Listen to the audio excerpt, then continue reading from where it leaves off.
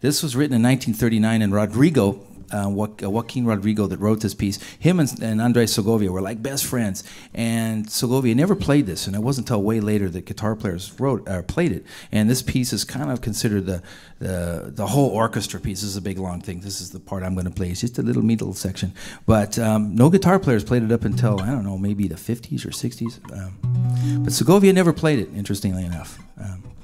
So this is uh, it's kind of think of uh, the theme from the Concerto de Aranjuez. This is the Adagio section.